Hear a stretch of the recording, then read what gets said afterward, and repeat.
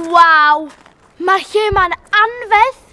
Dydw i erioed wedi gweld lle mae'r posh yn fy mywyd. Ein gwaith cael ni ti ar chwarae yna, so wedi talu am y lle yma. Hollol!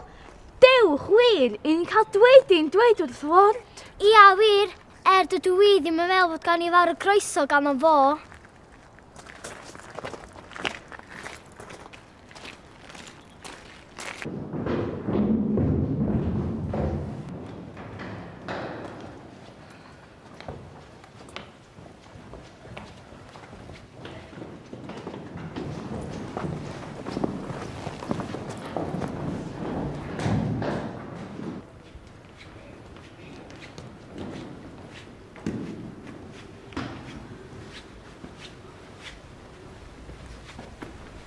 Waw!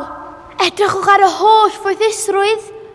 Edrychwch ar y carped, y siniau, y piano, a'r... Ydy dysgidio hoedd y lan gobeithio? Bitra'r byd, gora'r byd. Does gennym ni ddim parch ato fo. What are you doing here? Beth ydych chi eisiau gnafo'n bach? Da chi wedi codi digon o heren yn y chwal ma fel ma hi. Taflu cerig Gadael eich gwaith i fynd i llys yn Bangor, does dim croeso i chi yma. Siw, ewch o yma! Wel, wedi dod yma i rhain ochr ni o stori ydyn ni.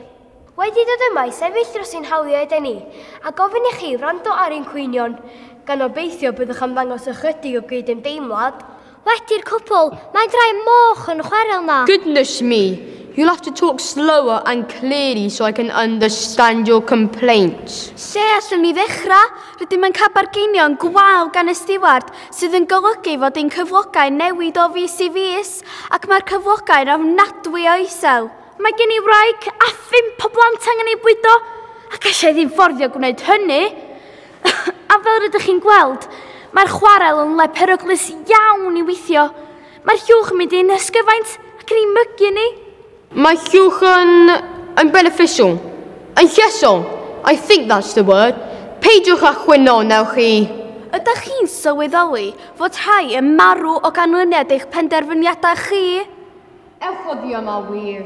Dewch ogia, mae'n amlwg nad yw pethau am newid er gwell.